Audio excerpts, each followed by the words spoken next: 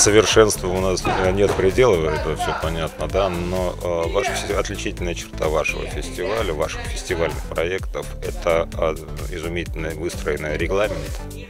то есть предоставленные площадки, гримерки, ну, то есть вся техническая сторона и э, регламент, который не вызывает дискомфорт. То есть это вот это касается той черновой работы, которая как бы, ее незаметно, но от которой зависит большой, э, большие какие-то нюансы, которые э, вызывают или не вызывают дискомфорт. То есть ваша э, отличительная, еще раз повторяю, черта ваших проектов – это регламент, тот, который выверен, продуман, и